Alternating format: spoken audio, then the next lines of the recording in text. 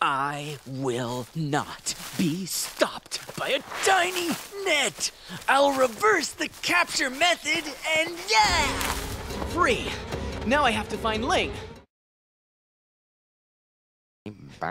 Master Betty, my compliments. That tiny net was surefire. Hmm, yes, a tiny net is a death sentence. It's a net and it's tiny. Sure. At this very moment, he's out in a field, rotting like a papaya, while we're in here, cozy and enjoying the good life.